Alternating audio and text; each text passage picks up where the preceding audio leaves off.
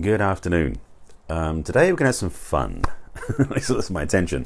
This is going to be kind of a free flow Friday since it is a Friday broadcast. And I'm going to talk about some things regarding um, the idea of crushing it, which I have a whole agenda thing for, and also about what your heart is ready for next decade, because everyone's talking about that. Anyway, before I jump into all of that, let me introduce myself so you know why you might want to watch this and, and also more about me so you know why I do this. My name is Barry Selby, in case you haven't seen my broadcast before. I am. Let me think what I am. Oh, yes, I know I am. Yes, I'm, I'm an inspirational speaker, spiritual guide, love and relationships expert, and the author of the best selling book, 50 Ways to Love Your Lover, a book for singles and couples, men and women. I'm personally very biased. It's a good book. If you want to get some principles for relationships, 50 of them, in fact, you'll have a much better start for your next relationship. If you're already in one, it'll help you get a better one too, or be in a better one too. Yes. Besides all that, I help women create balance in love, life, and business because I'm a passionate champion for the divine feminine, which informs my work with women and also what started these talks almost three years ago, called Messages from the Masculine Inspiring a Feminine Heart.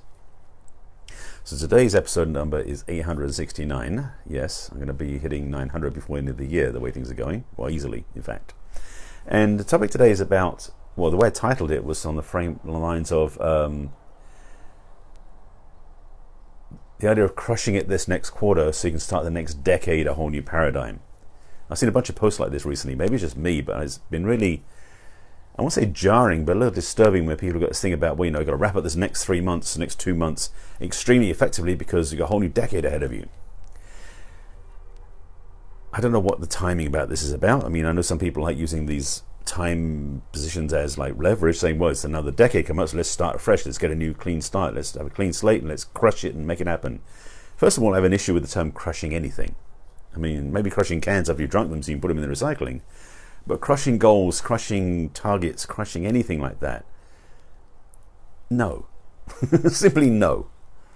Um, if anything, I would say the best thing to do is celebrate these next steps, these goals, these wins, these things. So let's just get the word crush out of it for starters. The second thing I want to talk about, which is more of what the content of this is about, is is your heart ready for the next decade? And I'm using that as a reference to the timing that I was talking about, because again, this is the last three months of the last decade type thing. The next decade starts in January. Um, I don't know what to do with that. but I want to talk about is your heart ready? Heart, is your heart ready for the future? Is your heart ready for the next steps? Is your heart ready for tonight or tomorrow even? And I'm asking that question because, frankly, many people, maybe not you, maybe it is you, but many people are caught up in this, this paradigm where they go through a life ignoring their heart to be focused on the next thing to do, the next goal, the next achievement, the next relationship. And how do I how do I want to say this? I'm tempted to like no, I won't do that. As I said, this is a free flow Friday, so let's see how it goes. Um, my my issue, my challenge, my concern is with the fact that so many people choose relationship without checking with their heart first. They think they do, and that's the problem. They think they do. Get my point? A lot of people choose relationship because they think it's the right one to be in. They choose relationship because they sense familiarity. They choose relationship oftentimes because their subconscious mind is driving them to do that. And that's a whole other conversation I've talked about many times before. I may may reference it a little bit in this talk, but I want to really get clear, get to the point where you get clear that to really choose a healthy relationship starts with your heart. And yes, I know that sounds rather simplistic, and I know it sounds rather um, what's the word I want to use? People have this thing that they, they sort of talk about, you know, matters of the heart are so tender, so nice. And it's like, I'm a guy talking about this, so I know it may sound a little bit discordant, but I'm really clear about this because my having had several brands over the years, including the Heartbreak Repair Specialist, um, the Love Doctor, and a few other titles, I'm very clear that heart is where the heart is where it's at, metaphorically speaking. And when you make your choices about relationship, actually, when you make choices about a lot of things, not choosing from your heart is a mistake. To make decisions where you're not choosing from the most important organ in your body and the most intelligent organ in your body, by the way, there's a whole lot of research about how your heart is more intelligent. If you ever study HeartMath, there's a lot more intelligence residing in your heart than what's above the neck. So just to be aware of that. So making choices that are heart driven making choices that are heart motivated, making heart, making decisions that are heart centered, is my recommendation for every area of life, and especially in your romance and love aspects too. Now, I said a lot of people make decisions from their head, from their mind, from their brain. They think about relationships. And you may say, well, I don't do that. Well, have you ju- judged your partnership based upon what that person looks like? Based on how good they are in bed? Based on what car they drive? Based on how, how you look together? All of that is mental. More than one way. But it's very much centered in your brain because it's not about your heart. Your heart doesn't have a gauge on what somebody looks like. Here's a clue your heart makes decisions about what somebody feels like. And that's a whole different thing. But a lot of people choose relationship. Hmm. I was going to say a lot of men choose relationship this way, but I'm not going to say that's only men because women do this too. I've seen it, I've witnessed it many times where a woman will choose a man based upon his prestige, his appearance, his look in life, which sometimes is an illusion and oftentimes is not enough. Rather than choosing from their heart to find a partner that they really feel loved by, supported by, served by, inspired by, and taken care of by. All of those things, by the way, should be on your list if you don't have a list already. Men oftentimes do choose relationship by how a woman looks, but that's because we are visually stimulated. It's one of the things we deal with in relationship. Men and women have these different access points, and truly, to be, truth be told, women normally, I'm use normally in this context, are attracted to a man by how he makes them feel. However, as I said uh, just now, a lot of women are driven visually by what they see and what they think they're going to get from this person. And it's largely because, here we go, okay, I need stuff drops in, about how women have been trained for the last 30, 40 years to be like men. And I talked about this yesterday or the day before, so please watch my previous broadcast, and I'll tell you when you find those at the end of the broadcast, by the way, about how the business world was created by men for men, and women have been trying to fit in ever since. And since the 60s, especially, since the sexual revolution and the women's liberation movement, and all that transformation that happened, women have gone to work and basically and basically fit into the business world like men. So it makes a whole lot of sense that their dating choices would parallel what, excuse me, their, their dating um, methodology, it's a better word. Dating methodology is very parallel to what men's is, what men's dating methods are. And so, ladies, what you've been trained to do is copy the men. In fact, what you've done learned to do is to be a hunter like men, which is why a lot of relationships sometimes become conflicted energies because they're both hunting each other. Not always healthy. And definitely, oftentimes, women have hunted the man. I've been there, the receiver of that. It's it's it's it's fun to a degree, and it's sometimes very ego stroking, but it's not necessarily healthy. Even though I loved every moment of it until it went wrong, I'm very clearly looking back in hindsight, not a good choice. So that's a word to the wise, by the way. So, ladies, let the man do the hunting, let the man court, let the man pursue, but be invitational, be clear so that he knows that, that he deserves to pursue you. I, I, yeah, I'm gonna leave that one alone. leave that one where it is. I just drop the one in your lap and I'm walking away from that one. So let me drop some other things in your lap. And uh, I'm gonna speak to the ladies particularly because you're my main audience, and when men who watch this, I appreciate that too. But as you, if you watch my broadcast before, you know this is always tailored towards women because more women watch than men do, and that's one of the blessings and also one of the curses. Because I know some of these talks should be for men too, because men don't always get the information they need to be able to do a better job in the world of loving, of relationship, of being heartfelt. But maybe I'll get some side effects from this talk. So, ladies, first of all, shedding your mindset that's been put on because you copied the men and like shedding it, putting it down when it comes to dating and relating and romance is the first step you must take if you want a healthy relationship.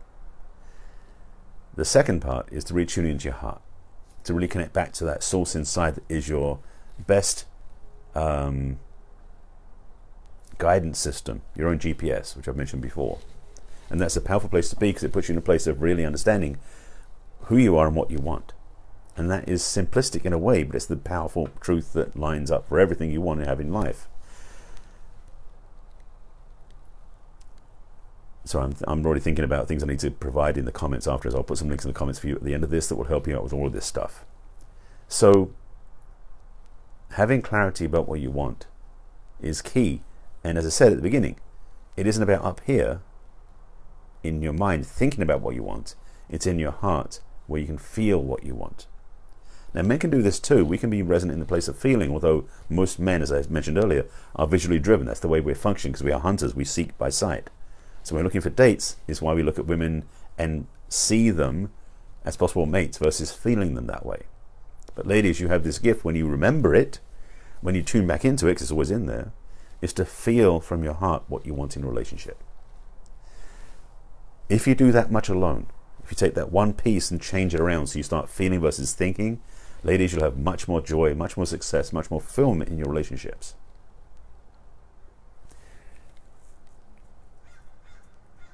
And I might leave it like that. I'm not even sure I want to give you any more because that alone is a powerful step. In fact, if you take that piece to heart, no pun intended,